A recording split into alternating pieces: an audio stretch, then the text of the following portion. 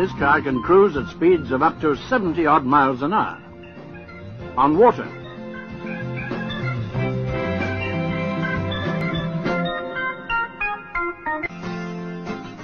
The energy factor, of course, is hydrogen, which, as any schoolboy knows, is contained in water in the ratio of two parts to one of oxygen. A formula described by Jules Verne more than a hundred years ago. So what have we been waiting for? The engine can also power a generator, provide light, and heat.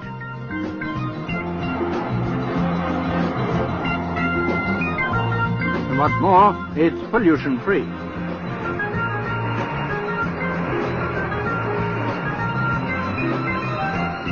The car's already run for well over a thousand miles, and the promoters say the scheme is practical and a commercial proposition. Fuel on tap, in fact.